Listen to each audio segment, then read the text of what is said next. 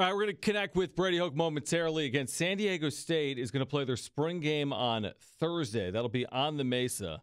So here's the deal, okay? It's going to take place on the practice fields behind PS7, right, on campus. It's open to the public, free admission. Gates open at 5. Fan activities feature free minim, uh, mini stadium replicas. That'll get Jim there. So you get a free mini stadium replica. Is that the only way I'm going to get in the stadium this year? Probably. What? What? You're going to go into the stadium repli- replica? Yeah. I like that. Um, there's going to be appearances by the band and cheerleaders and the dance teams, cornhole games, inflatable games for kids. There's I going to be like a DJ, I like it. San Diego State bookstore merchandise sale and concessions. And but wait, there's more. Uh huh. Football legends, DJ Pumphrey, Brian Sipe, they have been named honorary head coaches for the spring game, and they're going to sign autographs uh, before this event. So there's tons of stuff going on. There'll be an autograph session with Pumphrey and Sipe at 5:30, and again, free admission. Really, your last chance to see San Diego State in a public setting before they take the field September 3rd at the brand new Snapdragon Stadium in Mission Valley. So a ton to get into with the head coach of the Aztecs, Brady Hoke, back with us. His football team nearing the end of spring practice. And again, that spring game will be Thursday, late afternoon, early evening with free admission. Get there to support this team because, again, the next time you're going to see him is in Snapdragon Stadium. Coach, always great to connect with you. People always want to start with the quarterbacks, so let's start with the quarterbacks. How has the group looked? You know, Will Haskell, Braxton Burmeister, and others as they uh, complete this spring here.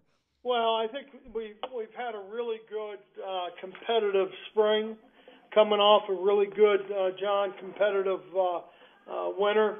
You know, with winter conditioning and and just seeing the mindset of guys, and really really pleased with how uh, Brax came in here and competed since day one.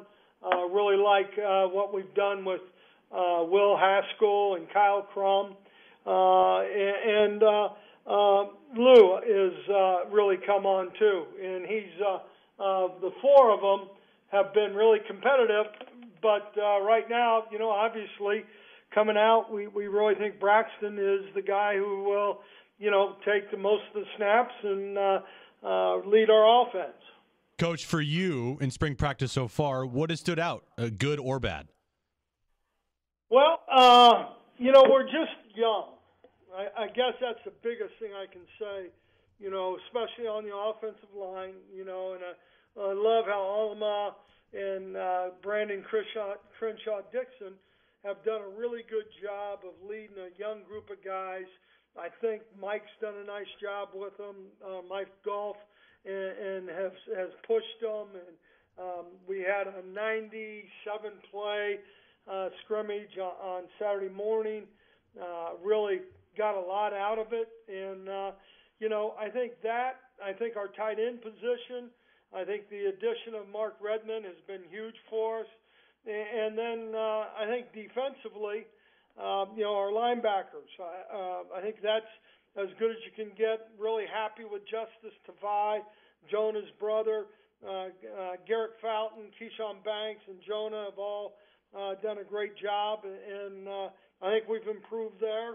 Uh, Pat McMorris has uh, continued to improve and and get better, and so I think the back end we're getting a little older. Uh, but like I said, you know, John and uh, Rich, the uh, the the big problem is uh, just getting an offensive line to uh, uh, you know grow up. yeah, which is probably easier said than done. Uh, Brady Hoke joining us right now on XTRA 1360. Again, Thursday's Aztec Spring Game is going to take place in the practice fields behind PS7. It's open to the public, free admission, gates open at 5, tons of activities for families and children as well. Coach, you mentioned the fact that you believe that Braxton's going to lead your offense. Is that into the spring game or is that into fall camp in the 2022 season? Yeah, John, I think, you know, obviously, I think. Uh, uh, unless something during the, the summer, you know, uh, uh, he doesn't want to work out anymore. He doesn't hmm. want to get better, something like that. You know, I I, uh, I think he definitely right now is the guy going into fall camp who we would f- feel uh, good about uh, starting with. Coach, when you lose as many players in key spots as you do, uh, how how much of a challenge is it to replace them and, and, and to make sure that those spots are filled going into the next season with you know how much production you got out of uh, guys like Cam Thomas and other players like that. Yeah, oh, there's no doubt. You know, and uh, uh, Jim, we we've tried to you know uh, fill some of those uh, uh, voids, you know, with the portal, and I think. Uh, uh, in that way, you know, uh, I feel really good where we're at with it. There may be another guy at a position. I can't tell you which one because I'm not sure. But uh, you know, where we're looking at maybe trying to strengthen ourselves uh, uh, with another guy out of the portal. But you know, I, I think uh, really the attitude of the guys, the attitude of how they came in here, because you know, you take too many guys uh, from the portal, you, you could have a problem with your, uh, or, or if you you don't have the right um, chemistry, you know, you could hurt your football team an awful lot.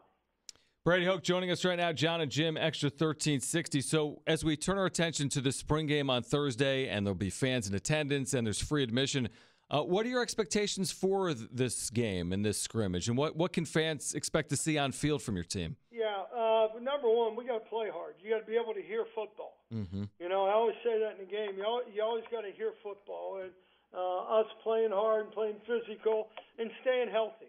Uh, that that's probably uh, uh, John as much as anything. You know, and uh, we also today we we had our pro day, and so we had about 55 scouts in here hmm. and coaches uh, uh, working the guys out, and it, it was really a good day. Yeah, that was, gonna be my next question: is how did pro day go for you, and and how did pro day go for for your former players now uh, trying to make it in the NFL?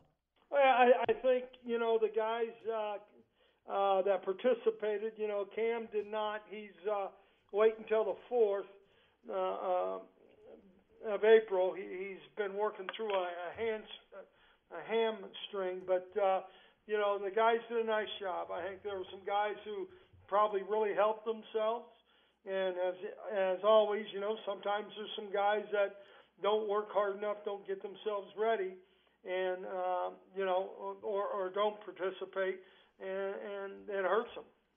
Coach, for our listeners that aren't familiar, and I don't know how familiar I am either, after spring practice, you go from a phase two to a phase three, right? So tell us about the next phase, and then from there, you get ready for fall camp, right? Yeah, you know, we, we, we're. Uh, our guys have the week off next week uh, as spring break, and when they come back, they'll start heavy training six weeks with Coach Hall in the weight room. Uh, they'll they'll uh, do some senior led uh, position uh, work, uh, fundamentals, um, and, and then you know uh, some Skelly, and, and then as we uh, go through the summer, uh, th- there's different things. You know, early you want to lift hard. You want a lot of heavy weights being thrown around uh, because you want to uh, increase your muscle mass, increase strength, uh, and, and later, as we go through the end of uh, phase three, then, then it's more of your uh, uh, your your runs and your shape and all those kind of things. So uh, we'll have uh, the players will be on a pretty rigid schedule uh, for a while, and then obviously coaches the lifeblood of your program is recruiting, and so we'll take uh, the month of April uh, into April and into beginning of May, and we'll be recruiting. When do you turn on for the first time, or maybe you've already done it? Do you turn on Arizona film? I mean, that's your opener September 3rd, or what's that like from a coaching perspective? Are, are you looking at future opponents at this point, or when do you start doing that? Yeah, there's no doubt. We'll, uh, uh, we'll, get all our breakdowns uh, of the uh, first four, uh, all you know, five games from each.